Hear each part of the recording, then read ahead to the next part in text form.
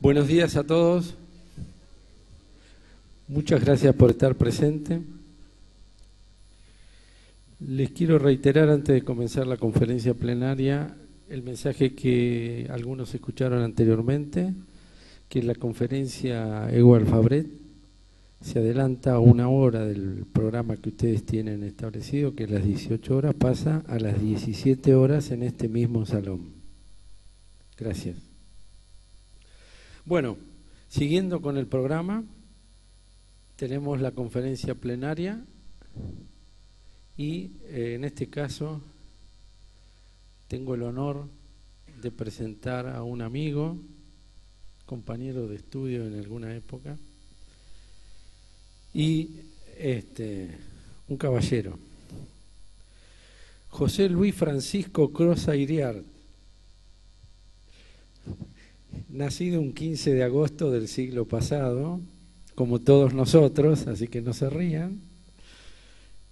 Este, nació en Uruguay, en Paysandú, y desde que lo conocí venimos discutiendo si Gardel nació en Paysandú o era argentino o francés. Él aduce de que es de Paysandú, Gardel. Y también tenemos discusiones con el dulce de leche, pero bueno, esas cuestiones rioplatense las dejamos de lado.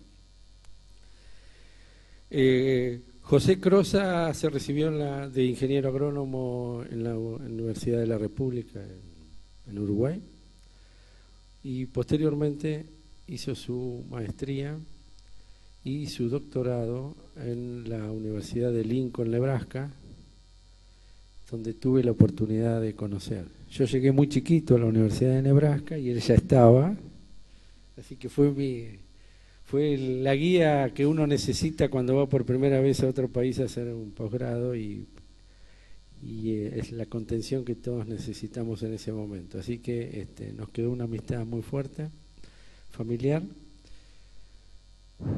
y hoy nos volvemos a encontrar aquí. Así que para mí es un orgullo presentarlo.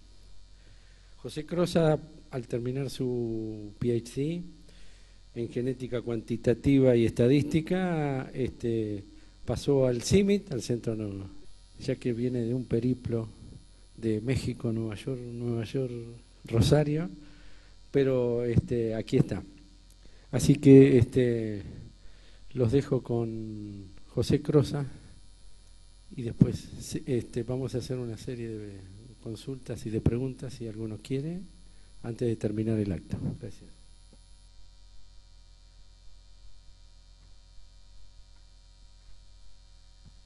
Muy bien. Muchas gracias, Juan Carlos, el comité organizador. No sé si este mate es regalo o, o cayó acá por porque soy uruguayo.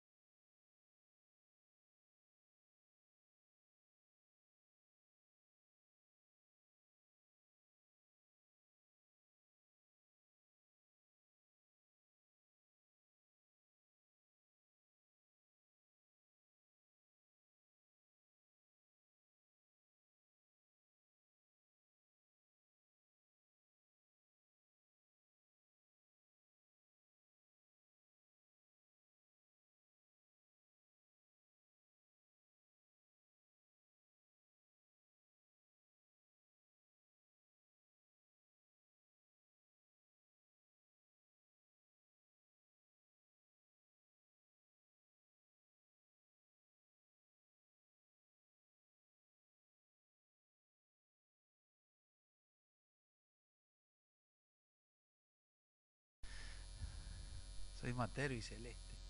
Este, lo voy a sacar por las dudas, si, si se cae va a ser más problemático todo. Entonces, hoy queremos hablar un poco de... ¿Ya aparece la figura? Ahí está.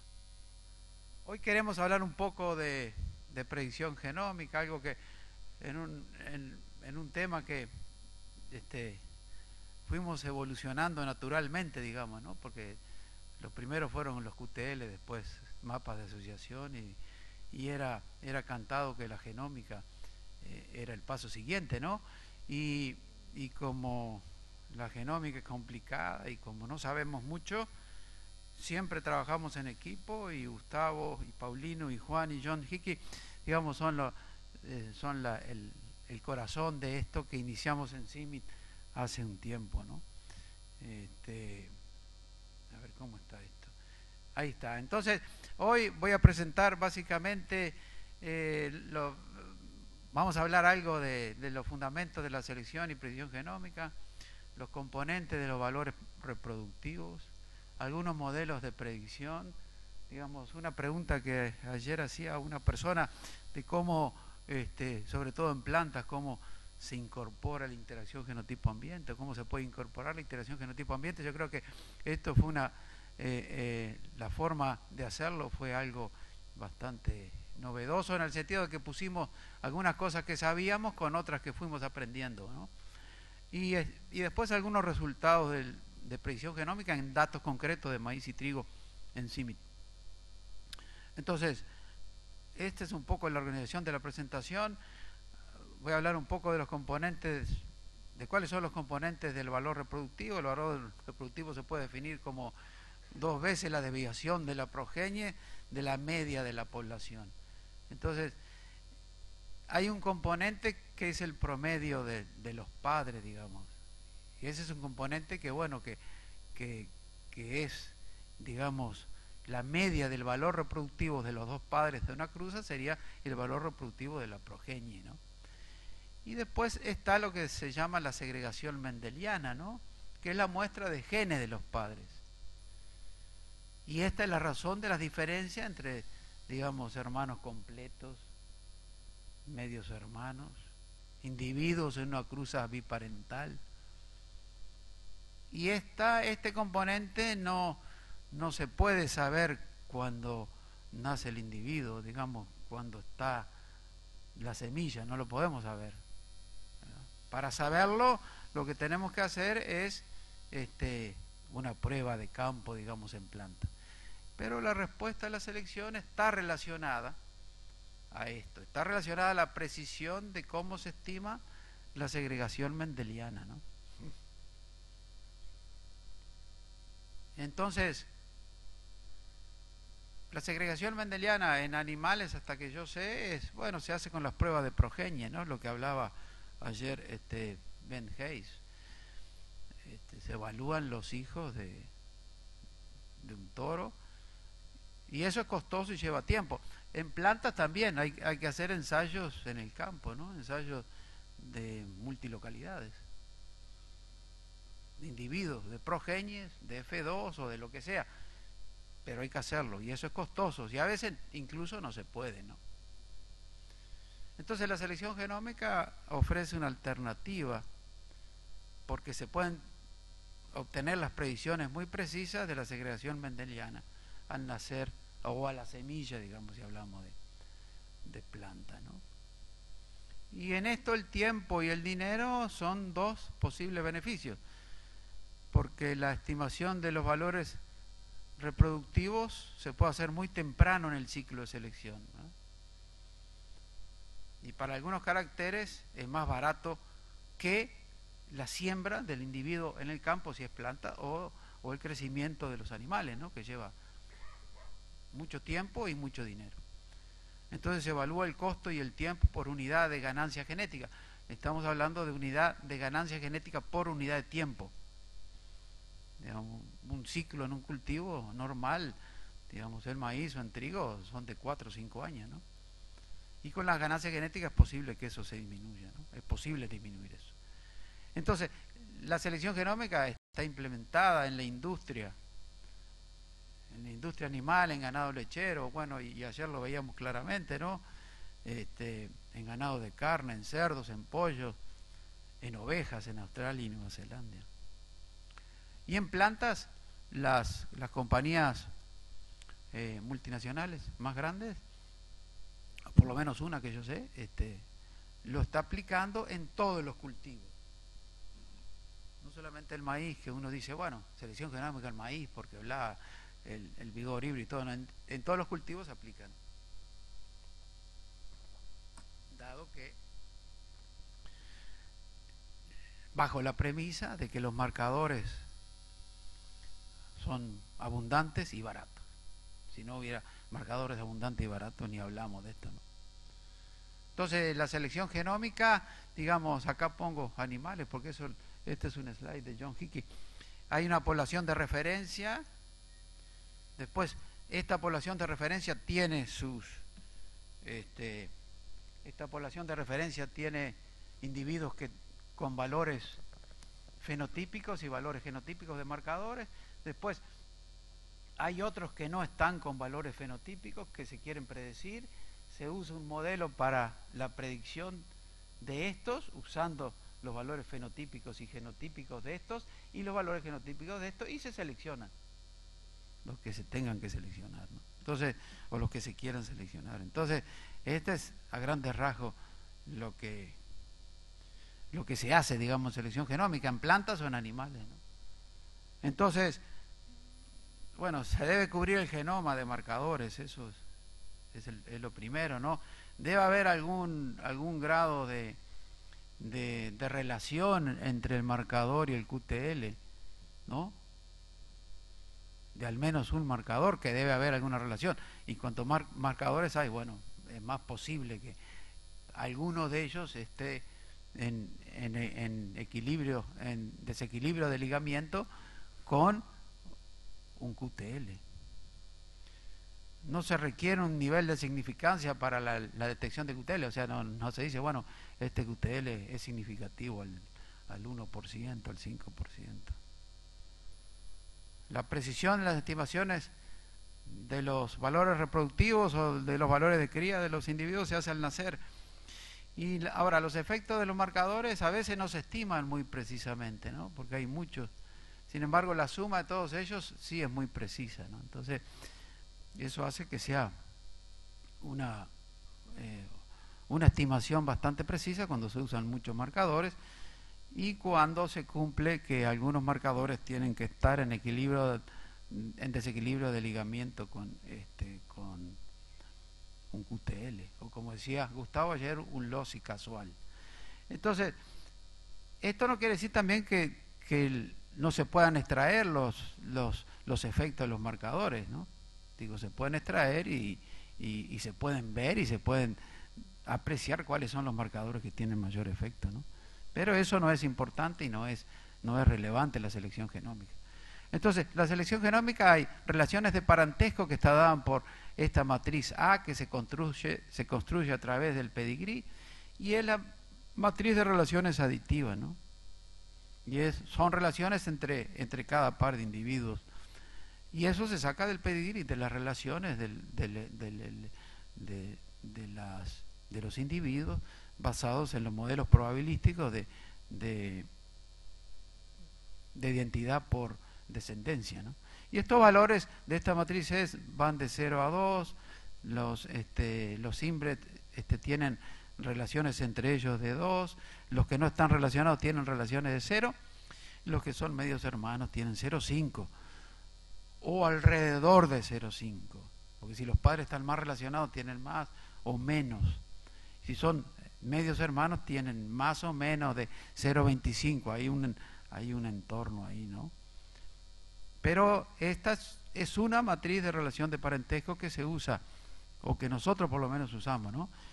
Pero esta no es de marcadores, esta es de relaciones de parentesco, de pedigrí. Las relaciones genómicas salen de los marcadores y se sabe que algunos individuos son más parecidos que otros, aun si la relación aditiva de la matriz A es la misma. Hay individuos que son más parecidos que otros, que están relacionados que otros. Y, y los medios hermanos, como decía, los medios hermanos andan alrededor, alrededor del 2.25, hermanos completos alrededor de 0.5, pero hay variaciones. Y esto, es lo que nos da la matriz genómica, que no nos da a veces la matriz de parentesco como tal, ¿no? Entonces, en esta, en esta forma hay varias formas de hacer predicciones y entonces eh, la forma de, de acá arriba, esta es la matriz de esta es la ecuaciones de los modelos mixtos de Henderson y entonces si usamos la matriz A tenemos el, el, el, el BLAP de la matriz A que va acá, digamos, pero si usamos la matriz genómica, la G va acá. Entonces, ustedes ven que, que, que las dos son matrices de relaciones, ¿no? Y que se usan. Y por supuesto, si no hay relación, no se puede predecir mucho, ¿no? Porque, porque no hay nada relacionado. Y entonces, la cuestión en genómica es que se usan todos los marcadores, no solamente los que están ligados a los QTL, sino todos, sin distinción. Bueno, se hace se editan los marcadores, los que son monomórficos no se usan. ¿no? Entonces, la predicción genómica usando el BLAP, digamos, en este ejemplo, suponemos que tenemos los datos de una planta con la progenie, digamos, de la planta 2 y 3, la planta 4 que no está relacionada, y la planta 5 que se quiere predecir. Entonces, estas serían las relaciones con A y estas serían las relaciones con G, que son muy parecidas, ¿no? Pero no son exactamente iguales, porque acá este individuo que no está relacionado, acá tiene un valor chiquito. Y estos otros valores son muy parecidos a esto. Entonces, la matriz G nos da información, digamos que quizá la matriz A no nos da. Y estos, digamos, son los valores, los, los índices de los BLAP en este caso y de los BLAPs en este otro caso. Como acá tenemos un valor y acá no tenemos, entonces acá tenemos este valor muy pequeño acá, pero tenemos más información.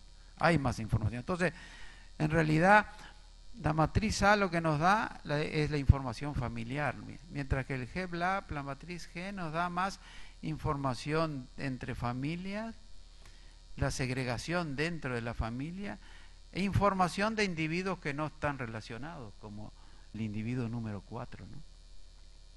Entonces, eso hace que la información en la matriz G sea importante y se use en la selección genómica.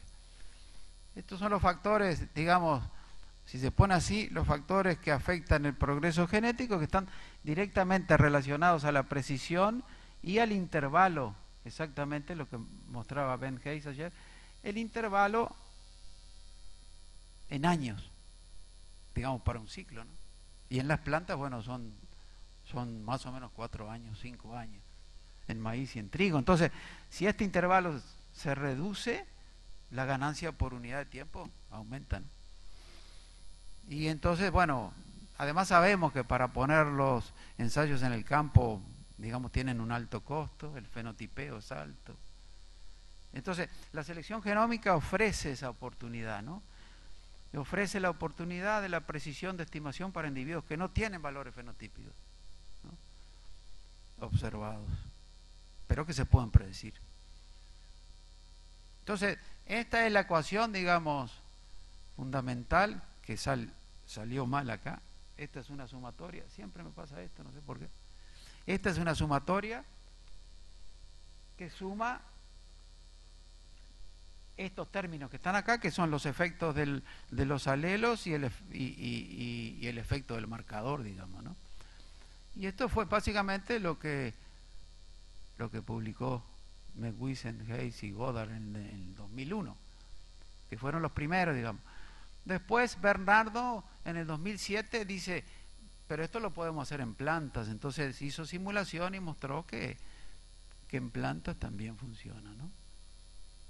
Pero esta es la ecuación, digamos, fundamental. Ahora, cuando hay muchísimos marcadores y no hay muchos individuos, entonces, claro, se forman, hay muchos retos y cosas difíciles de poder este, solucionar con los métodos tradicionales. Por ejemplo, hay un, hay un problema de dimensionalidad, porque el número de marcadores es mucho más alto que el número de individuos. Entonces, eso estadísticamente, y usar otros, otras soluciones como los estimadores encogidos o, o la de inferencia bayesiana, ¿no? Porque los métodos de mínimos cuadrados ordinarios no, no, no, digo, no, no dan ninguna solución. Además están todas las interacciones, la epistasis, este, entre QTL, que no son aditivas, ¿verdad? Entonces, esas son complicaciones que hay a este nivel, digamos, a nivel de, algoritmo y de lo que nosotros manejamos CIMIT. La implementación de esto en el campo, esa es otra historia. Yo no la puedo contestar, eso no sé. Eso es cuestión de los mejoradores animales o. ¿no? Y la Entonces hay mucha complejidad en los datos, en los algoritmos, en los efectos.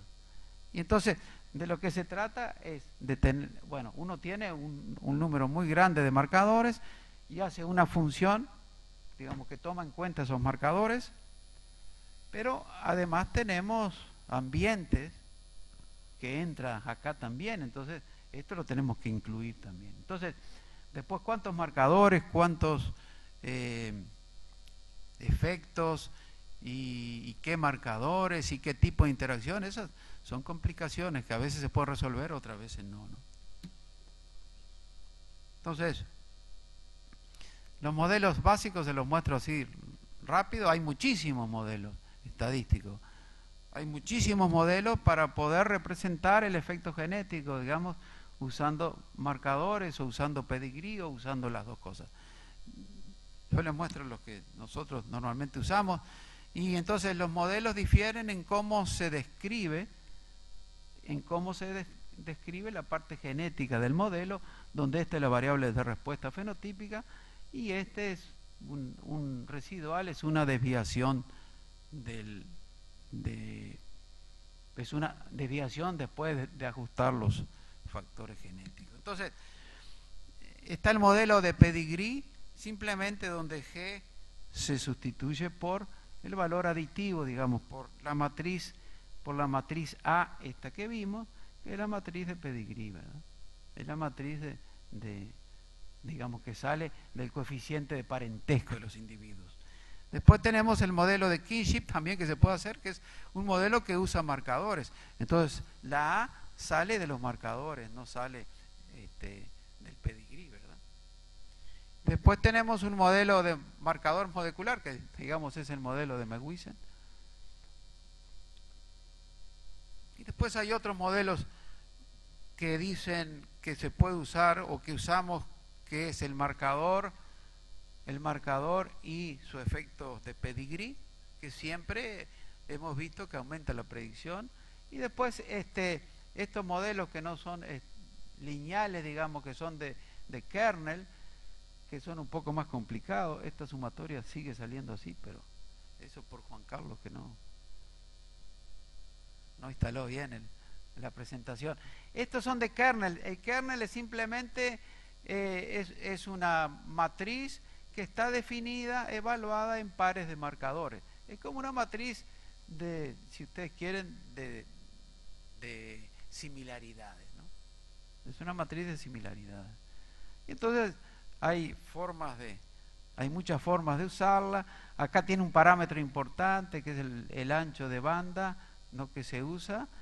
Y bueno, y, esta es una distancia, esta que está acá es una distancia euclidiana nada más. Este es un modelo, digamos, no lineal, no paramétrico, donde se, nosotros pensamos que puede capturar algunas este, relaciones epistáticas que hay.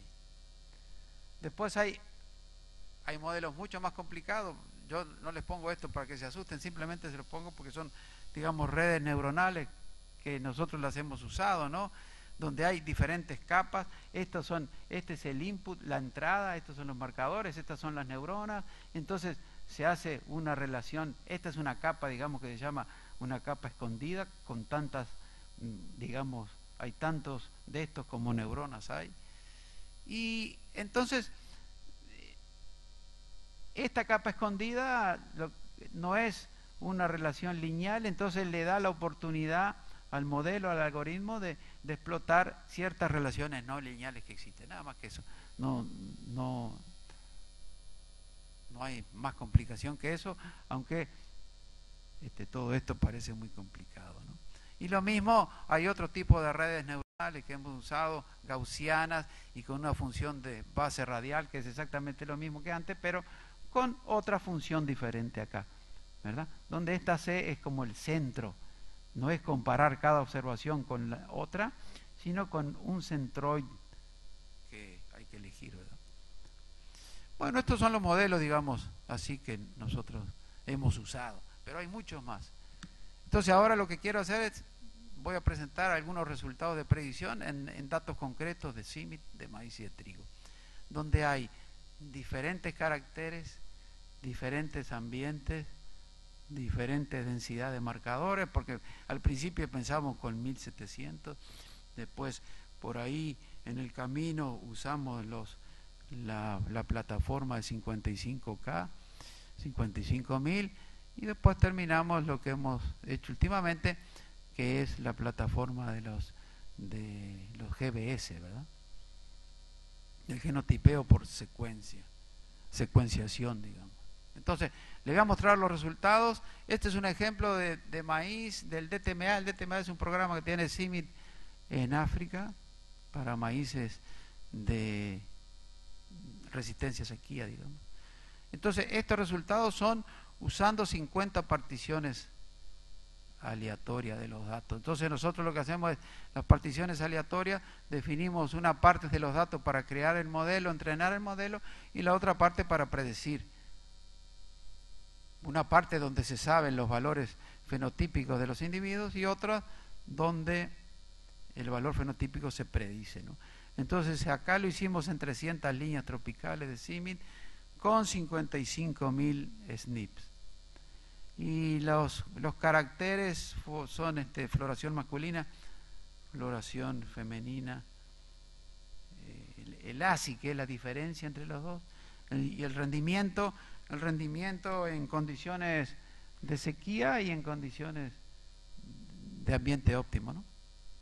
Y después también unas dos enfermedades diferentes en diferentes sitios. Y estas son las predicciones, digamos, este, las predicciones que tuvimos, ¿no? Esta es la combinación de los, esta es la combinación de los, bueno, acá hay unos datos, acá hay unos datos de simulación que hablo de esos ahora.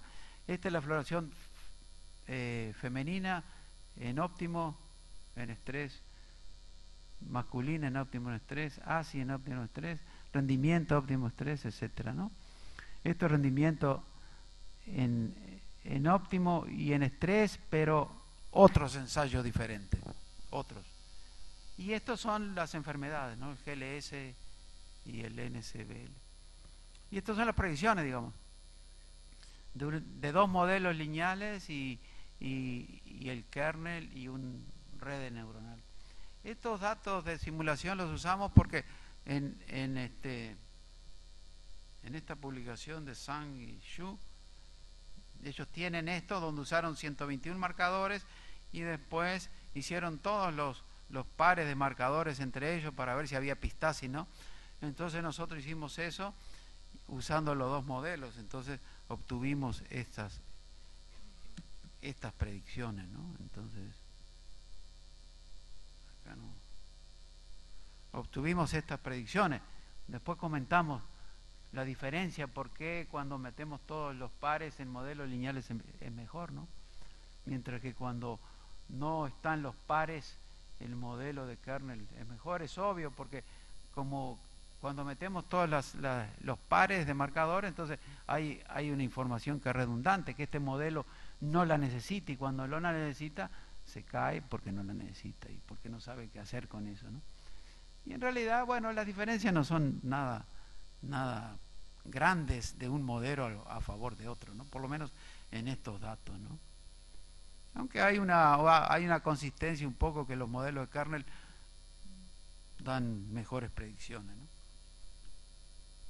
Y las predicciones para, para floración siempre son más altas, porque es un, es un carácter menos complicado, rendimiento es más complicado, rendimiento en estrés es más complicado, eso está clarísimo, nadie lo discute en, este momento. Entonces, ahí en, condiciones de sequía es, problemático todo, ¿no? Esto es en maíz, digamos, en este proyecto. Después hicimos en trigo también, ¿no? En trigo tenemos los 306 eh, líneas de trigo con 1717 SNPs no son SNPs en realidad, deben ser darts, eso está equivocado. Dos caracteres, días de, madurez, o, al, sí, así se le llama, ¿no? Madurez, y rendimiento. Y estos son los, los, estos son los sitios o ambientes, y estas son las predicciones también, ¿no? Acá en trigo hay más, este, hay más ganancia de los modelos kernel. Yo pienso que es porque en trigo está comprobado, por lo menos en, en, días de a, la madurez, que hay epistasis. Ahí está comprobado que hay epistasis. Y, y, en rendimiento también hemos visto que hay epistasis. Entonces, a lo mejor esa es la razón por la cual los modelos, los modelos de kernel andan mejor ahí. Ahora, ¿cómo? Una pregunta, siguiendo el ordenamiento que di al principio, ¿cómo incorporar la interacción genotipo-ambiente en la predicción genómica? Esta, este es un trabajo que, que salió publicado este año, es burgueño y alumnos en Crop Science. Y yo creo que, digo, para mí esta publicación es importante porque nosotros pusimos muchos métodos, porque yo me pasé la vida este, haciendo algo con la interacción genotipo-ambiente desde el punto de vista fenotípico en sí, ¿no? Y ahora con los marcadores, este, decimos, bueno, y, qué tal si ponemos marcadores y en lugar de la matriz A usamos la matriz G y si usamos las dos, ¿ayudará a la, a la predicción o no ayudará? ¿Qué pasará? Entonces, Incorporamos en un solo modelo elementos para modelar la interacción con información de pedigrí y o de marcador. Y hicimos dos problemas. Vimos la predicción de individuos no evaluados, o sea, individuos que nunca se vieron en el campo, ¿no? Y acá teníamos cuatro ambientes y teníamos 599 líneas de trigo.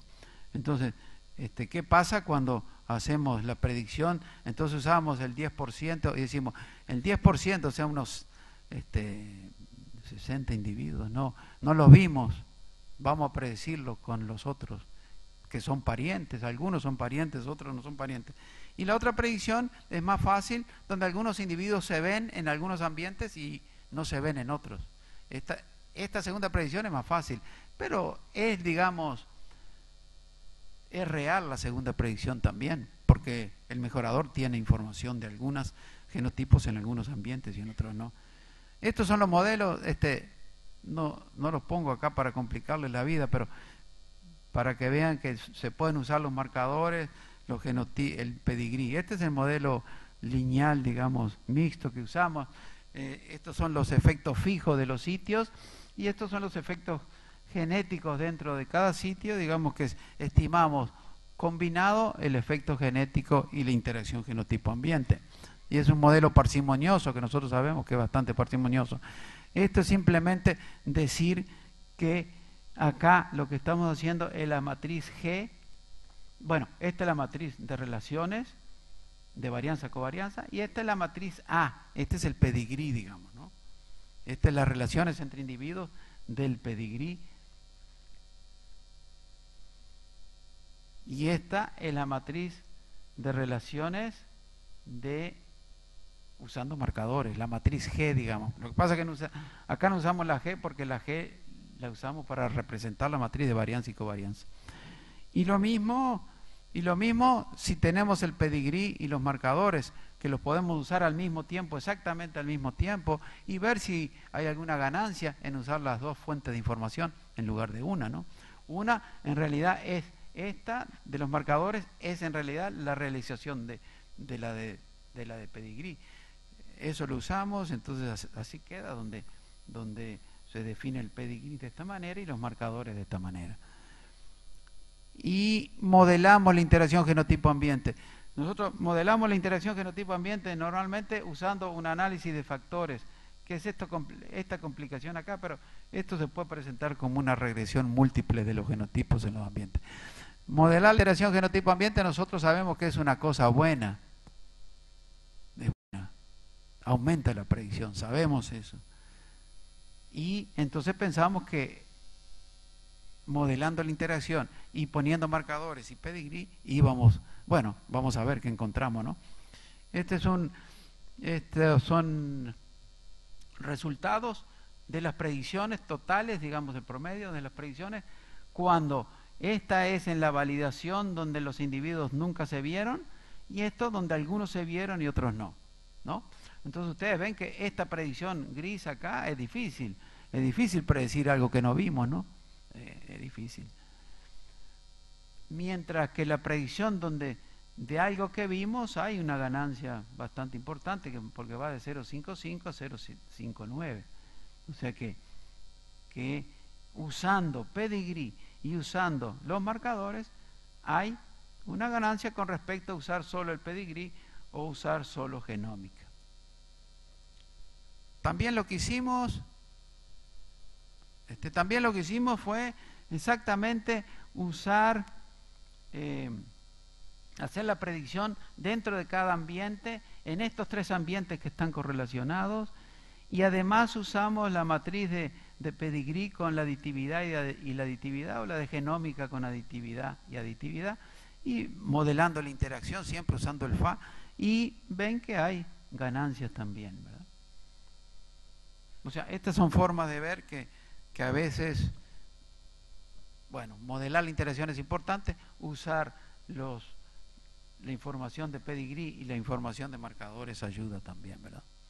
Entonces los resultados, se ve que el impacto de modelar en, la, en, la, en el esquema de, de CB2 es marcado en ambientes correlacionados, pero no mucho en ambientes no correlacionados. O sea, si los ambientes son ortogonales, que no están correlacionados, no hay mucha ganancia, ¿no? Este, para ambientes correlacionados el beneficio de la predicción viene de dos fuentes.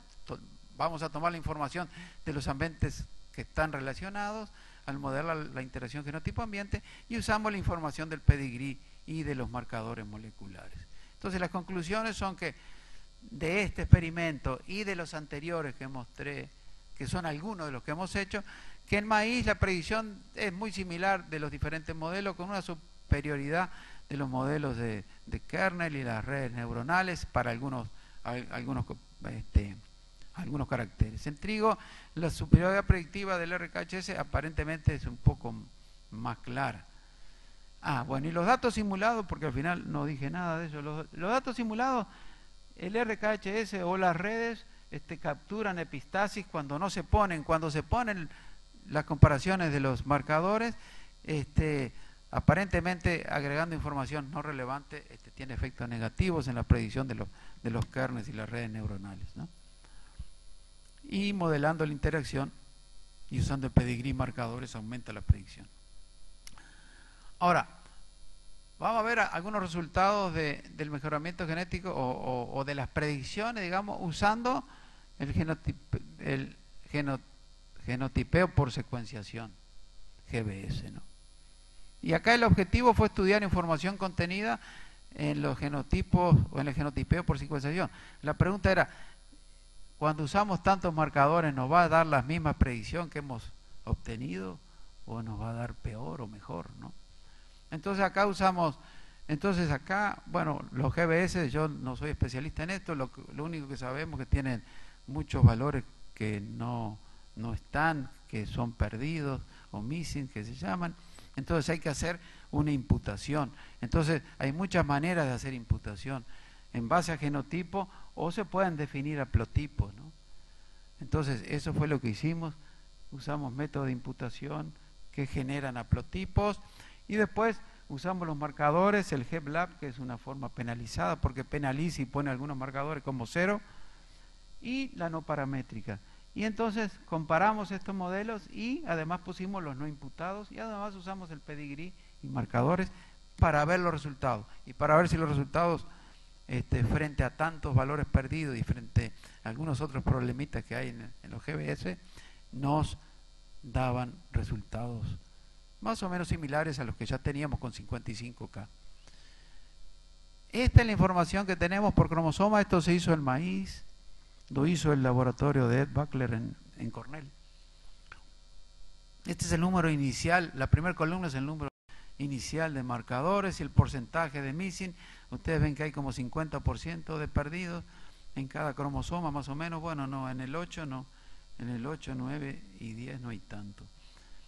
Después el número de marcadores después que Porque acá lo que hicimos, como hay tantos perdidos, lo que hicimos fue sacar el, los que están perdidos, el más del 80% de los individuos, los sacamos. Y, los que están también, los que son monomórficos. ¿no?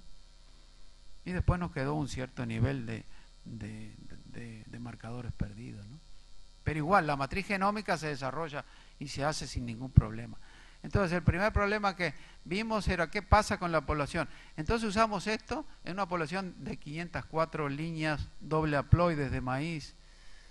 Entonces, lo primero que hicimos fue no considerar relaciones familiares, porque estas 504 líneas están relacionadas en familias de, hermanos completos y de medios hermanos. Y fueron evaluadas en condiciones de estrés, de sequía y en condiciones óptimas. Entonces se hicieron 50 particiones al azar, con el 70%, 70 en, el, en, la población de entrenamiento, en el TRN, y 30% en la población, en, en, la validación. O sea que usamos el, el 70% y vamos a predecir el 30%. Y estos son los resultados, digamos, para rendimiento en grano. Esta es la predicción usando solo el pedigrí, porque como decía, como hay familias el pedigrí per se explica mucho y bastante, ¿no? Y después, por sobre eso, los marcadores explican un poco más también, ¿no? Este para rendimiento en grano. Y estos son los resultados del GEPLAB. Entonces, cuando usamos el pedigrí y, los marcadores en estos modelos, digamos, tenemos una, una correlación global de 0,58, ¿no? Este, algunos colegas van a decir, no, pero esto es debido a las estructuras de la población. Bueno, eh, esos son los datos que tenemos, que usamos. Hay, hay poblaciones acá y ahora voy a mostrar los resultados, otro tipo de resultados que tenemos. Pero son, son, este, son precisiones o son este, valores de predictibilidad un poco más altos que los, que los que encontramos con los 55 55K. Estos son resultados de días antesis, exactamente igual. El pedigrí, los marcadores y el pedigrí con el marcador. Días antesis, el maíz, digo, como dije antes, es un carácter un poco más simple, entonces la predicción se va hasta 0,73. ¿no? Entonces, después dijimos, bueno, acá hay una estructura familiar de las 504, este, de las 504 eh, doble haploides. Esas hay 10 familias de hermanos completos, ¿verdad? Que están enumeradas acá como FS, FS1, FS2, FS10, con colorcito. Esta es la relación de parentesco, porque son familias de, de medios hermanos y de hermanos completos. Y esta es la relación que uno obtiene de la matriz de relaciones genómicas. Este es el mapa de las relaciones genómicas, que entonces ustedes ven que las relaciones genómicas también reflejan este, las relaciones que existen entre los individuos, ¿verdad? Entre los grupos de individuos. Entonces, otra cosa que hicimos fue, este, vamos a predecir, vamos a tratar de predecir entre familias, porque hay, hay algunas familias que están más relacionadas que otras, entre familias y dentro de familias. Entonces, hicimos la predicción y vimos, usamos individuos no relacionados este, para predecir, usamos medios hermanos para predecir los otros y usamos hermanos completos para predecir los otros y ver cómo es esa relación. Entonces lo que obtuvimos es básicamente esto, esto es una figura que muestra las relaciones y las predicciones para para la, hay 10 familias, acá solo muestro la familia 2, la 4 y la 8. Este, y estas es cuando se predicen con individuos no relacionados, con individuos relacionados por, medios hermanos y por individuos relacionados por hermanos completos. Ves que cuando están más relacionados hay más predicción. Eso es lo, eso es lo que uno espera, ¿no? Y si no hay relación, no hay predicción. Y de hecho eso era lo que hablaba Ben Hayes ayer, ¿no? Entonces,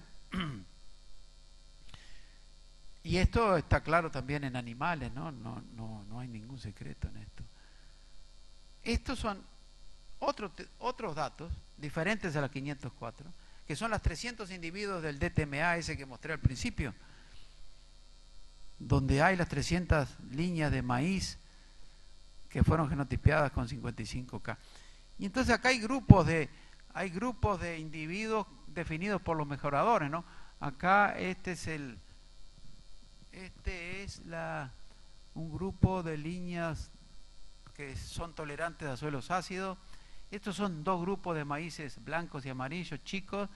Este es un grupo de maíces de la unidad de, entomología.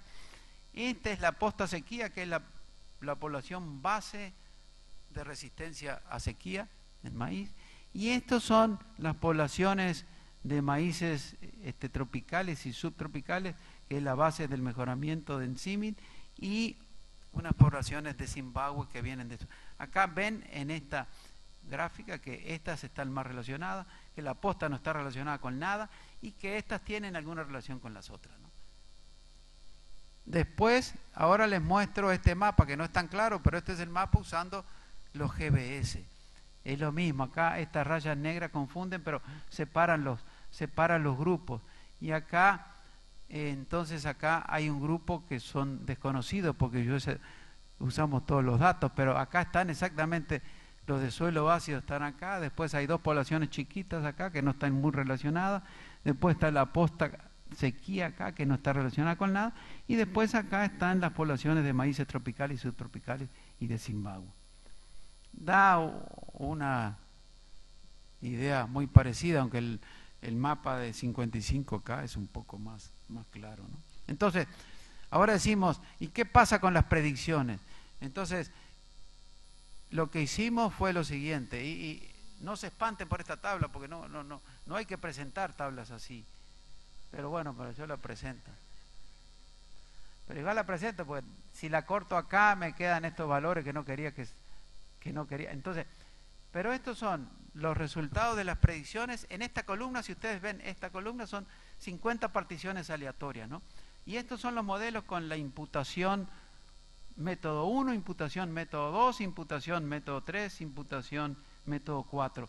estas imputaciones originan haplotipos. Este es un haplotipo corto que hicimos, haplotipo largo, y este es un haplotipo estándar. Entonces, queríamos ver si había diferencias en las predicciones cuando se usan aplotipos o no se usan aplotipos. ¿no? Y después este, este es el, son los, los GBLAB con los mismos métodos de imputación y los mismos aplotipos. Entonces, esta columna acá, hicimos las 50 particiones. Esta columna acá, lo que hicimos fue tomar estas, estas otras poblaciones como entrenamiento y predecir esta y predecir esta, que es una población que no estaba muy relacionada a las demás. Y entonces ustedes ven que la predicción es cero para muchos modelos y acá aparece algún modelo con una predicción un poco más alta. Esta es la predicción de los de entomología, que es bastante pobre. Bueno, no, en realidad no es bastante pobre porque acá hay un buen, acá hay un buen, el GBLAP hace un buen trabajo. Esta es la posta sequía que no estaba relacionada con nada y no sale muy relacionada con nada. Esta es la, las subpoblaciones subtropicales y tropicales de México y de Zimbabue, que estas sí tienen relación, están relacionadas entre ellas. Entonces, acá las predicciones salen más altas. Entonces, esto lo quería... En la próxima tabla lo que muestro es simplemente lo mismo, pero lo que hicimos fue en, en el entrenamiento, en, en la población que entrena en la población usada para predecir esta, esta población, usamos todas las demás y algunas de estas, algunas de estas. En esta usamos todas las demás, pero algunas de la unidad de entomología. Entonces ustedes ven que cuando ponemos algunas de los individuos de esta población en la población de entrenamiento, las correlaciones mejoran un poco, ¿no? Eso también nos dice que bueno, que cuando las cosas están relacionadas, hay más predicción, cuando no están relacionadas, no hay tanta predicción.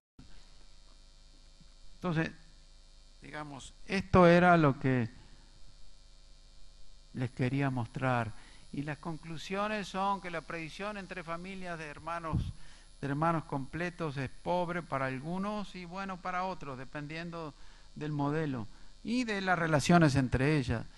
Las predicciones dentro de hermanos completos y medios hermanos para un carácter complejo como rendimiento en grano es, digamos, razonable. Yo diría razonable, ¿no? No es alta, razonable.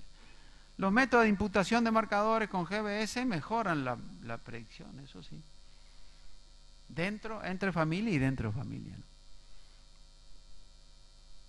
Quizás no tanto como esperábamos, pero mejora algo, ¿no? Las predicciones basadas en haplotipo fueron buenas. Entonces nosotros concluimos que los GBS y su bajo costo es una plataforma promisoria para ser aplicada el mejoramiento genético usando líneas, no usando, hasta ahora, no usando material segregante. ¿no? Entonces, lo que, quiero, lo que le mostré son resultados totalmente de algoritmos, de modelos, de cosas que nosotros hicimos, bueno, para empezar. Pero en sí se están implementando estas cosas en el campo, porque el que tiene que implementar esto es el mejorador, no son los bioinformáticos, ni los biometristas, ni los marcadores moleculares. Pero yo quiero terminar la presentación de hoy con unos resultados que acaban de salir en Crop Science, de, básicamente del, de Rex Bernardo, que son los primeros resultados de selección genómica del maíz. Muy claramente que donde se reporta este, que el uso de todos los marcadores da más ganancia que el uso de solamente los marcadores que están ligados a los QTLs. Él lo hizo en, la población que es la cruza de, las dos líneas de los grupos, del grupo terótico en Estados Unidos, que es este, la Missouri 17 por B73, genera F2 usa los doble haploides, genotipea con 200 marcadores, SNPs, de buena calidad y selecciona en base a eso. Y se ahorra cuatro años, ¿no? En estos, en, en estos, en estos caracteres de Stover Index y de, y de rendimiento. Entonces, esta es, y la ganancia es de 14 a 50%, más grande que usando este, la selección basada en marcadores. Este es el primer este, son los primeros resultados. O sea que, lo que nos dicen por ahí que, funciona, bueno, hay razones para, para, pensar que sí funciona.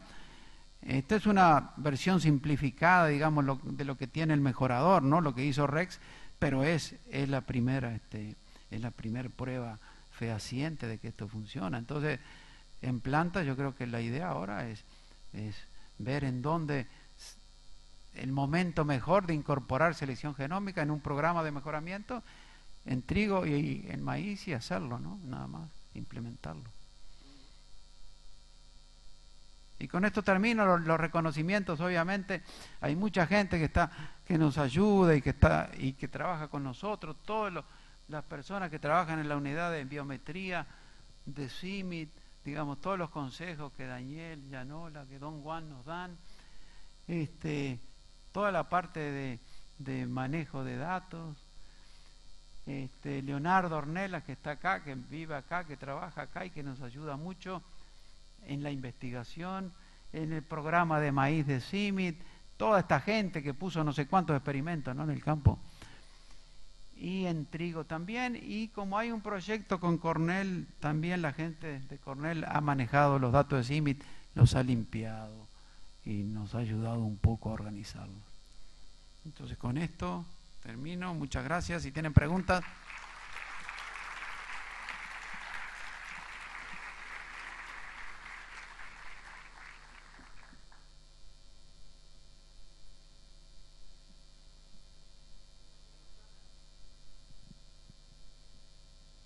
El mate me lo llevo.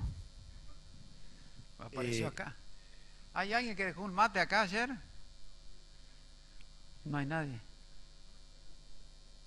José, tengo una, pregunta. Tú mostrabas los datos de predicciones entre poblaciones, que por supuesto es un ejercicio interesante para entender cómo funcionan los modelos, pero en la práctica es difícil pensar que un mejorador genético va a pensar que vamos a entrenar los modelos, digamos, en, unas poblaciones y después vamos a sacar predicciones para aplicarlas en otras poblaciones.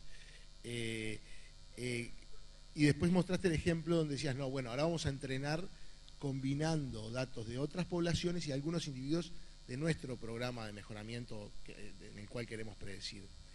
Ese sería un escenario en donde estamos combinando información de muchas poblaciones para predecir dentro de un programa de cría una población.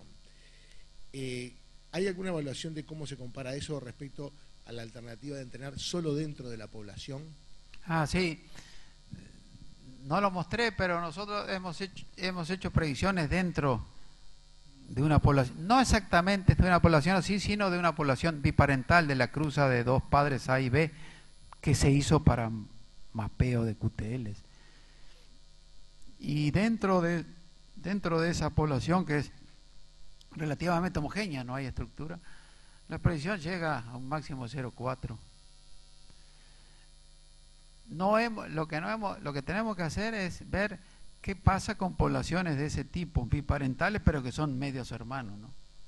Y entonces este, vamos a agarrar información de esta para predecir esta. Yo creo que tiene que aumentar. Pero lo que hemos encontrado dentro de cada población, 0,3, 0,4 para ambientes óptimos y menos para... Usando 50 individuos. O sea, nosotros usamos 50, 70 y 90 individuos de una biparental, hay 200 y predecimos los otros 130 o 150 y las predicciones llegan a 0,4, que es más o menos lo que encontró Rex también y lo que hablan en Pioneer que pueden predecir, pero lo que pasa que yo creo que eso lo podemos aumentar si, si extraemos información de poblaciones que están relacionadas, ¿no? Porque todo esto se hacía porque este siempre uno dice, bueno, pero en todas estas en todo este ejercicio nosotros digamos no no es que hacemos una estimación del valor de cría, sino el valor genético, ¿no? Hacemos el, la estimación del valor genético total. Eh, Pancho, vos en la una pregunta anterior y después en la conclusión final decís que las líneas tienen que ser endocriadas. Para O el, trabajo que hizo Bernardo define que es mejor, que los modelos se aplican mejor cuando vos, cuando la línea está endocriada. mayor cantidad de marcadores. Ah, claro. ¿Qué sugerencia se puede hacer en un programa de mejoramiento donde vos sabés que hay todo un programa de selección donde sí, claro. hay mucha variación de material y hay segregación, ¿no? Sí, claro, porque en realidad, en la práctica, en realidad lo que tiene mejorador es un, son, son cruzas, individuos de, de, no sé cuántas cruzas, de mil cruzas que tiene, entonces tiene 200 o no sé cuántos individuos de cada cruza, ¿no? Eso es lo que tiene el mejorador, que siembra en el campo y después dice, bueno, esto sí, esto no, esto sí, esto no, y, y ahí va reduciendo. Ahí, bueno, el maíz es diferente que el trigo, porque el maíz entonces lo que hacen, el híbrido lo cruzan por el, por el tester, ¿no? Y entonces ahí seleccionan en base a eso. Pero si tenés muchas cruzas y están relacionadas, no, no puedes hacer. Lo que hacen es hacer los doble haploides. Porque claro, porque los marcadores si son de alta calidad detectan todo, pero, pero los GBS que son de bajo costo no detectan los heterocigotos y no se pueden usar entonces. Pero desde el punto de vista práctico, no es una biparental que tiene un mejorador, no es la cruza de A por B y punto, y es el digo, tiene no sé cuántas cruzas. Y termina con y termina seleccionando las mejores las mejores familias dentro y entre familias. Eso eso eso es lo que tenemos que hacer, ¿no? Y, se puede hacer, yo no creo, digo, no tengo ninguna duda que en maíz, en trigo es diferente la historia. En trigo es diferente porque el trigo en trigo lo que hacen ellos es sembrar la F2 porque, porque no pueden fenotipiar ni genotipiar 8 millones de F2, de, individuos F2. Entonces lo siembran y hacen una limpieza visual de, de las plantas y después, más adelante, sí se puede incorporar la selección genómica, pero no a nivel de F2 en trigo, ¿no? Entonces hay muchas cosas prácticas que el, mejorador debe de, limitar para hacer esto. Esto es lo que, esto es lo que nosotros hicimos fue simplemente mostrar que los marcadores predecían, porque eso es lo, que teníamos que hacer, ¿no? No teníamos que eh, este, ver si los marcadores predecían y ver si el, poder de predicción de los marcadores era bueno y, bueno, y, eso fue. Y bueno, y vamos aprendiendo en el camino, porque esto, esto, hay cosas que no se saben. Y a nosotros nos dijeron, háganlo, pero miren que se van a, van a tener que aprender, porque porque sí. Los de animal, los zootecnistas pensaron hace cuánto, mucho tiempo antes, ¿no? Mucho tiempo antes. Y bueno, fuimos aprendiendo de ellos, ¿no? Y teniendo en cuenta estos conceptos, el tema de los más interesa ahora que estamos con el tema de estrés hídrico, el, estrés hídrico precisamente. ¿Hay alguna sugerencia de tomar algún parámetro por los valores que marcaste ahí?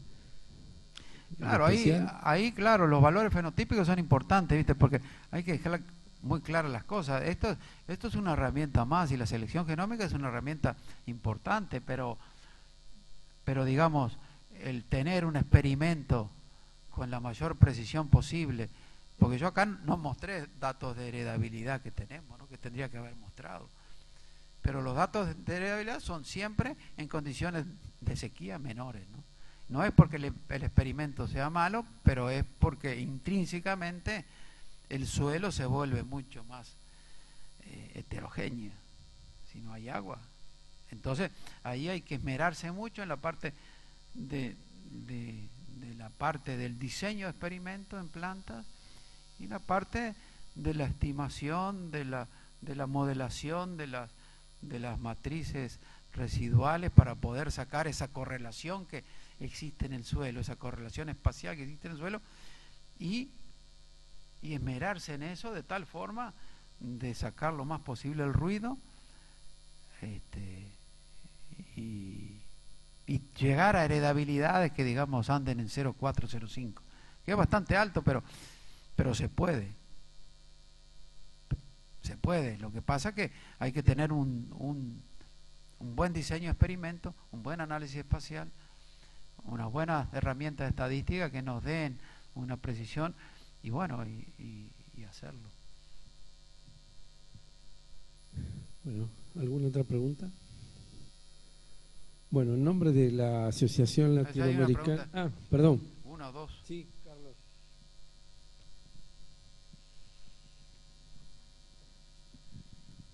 Yo una pregunta, no, no, no terminé de entender si en el caso de los ejemplos de maíz, se estaba hablando de la eh, predicción de los valores per se de cada planta o de la predicción de los valores de la aptitud combinatoria eh, para la progenie híbrida de cada planta. No sé si me explico.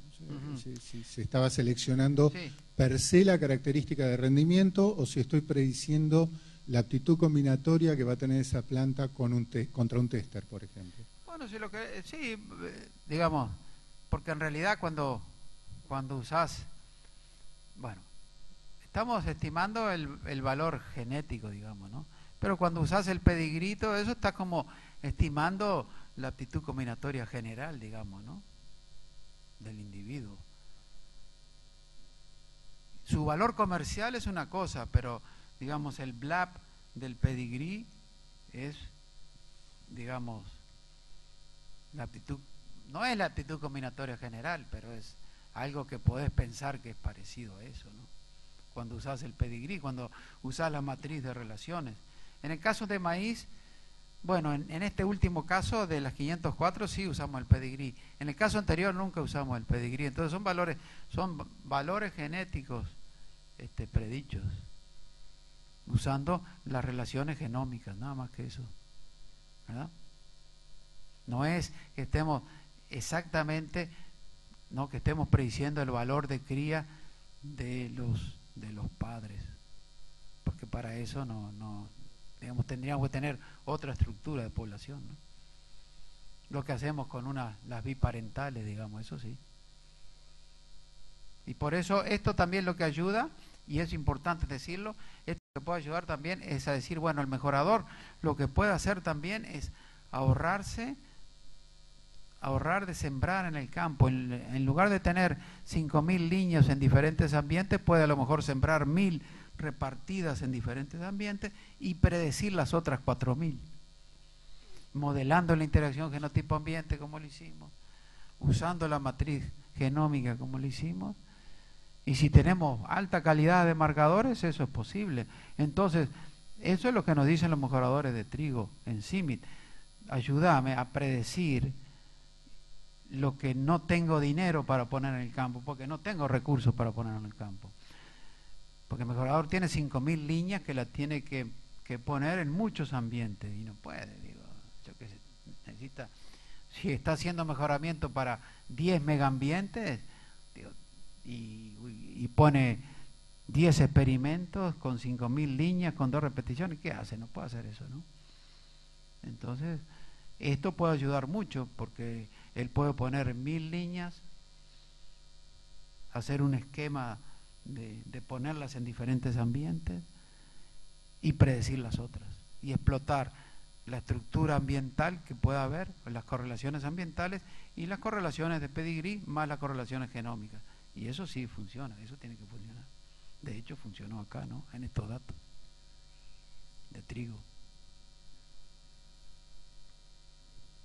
Bueno, eh, Pancho, en nombre de la Asociación Latinoamericana de Genética, te quiero hacer entrega de un presente, además del diploma, para que te lleves el recuerdo de la Argentina.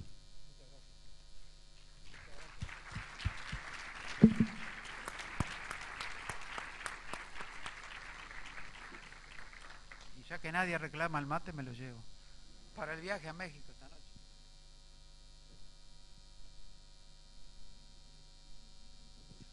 Buenos días. Queríamos hacer algunos anuncios. Por razones familiares, el profesor Lynch se suspende su conferencia.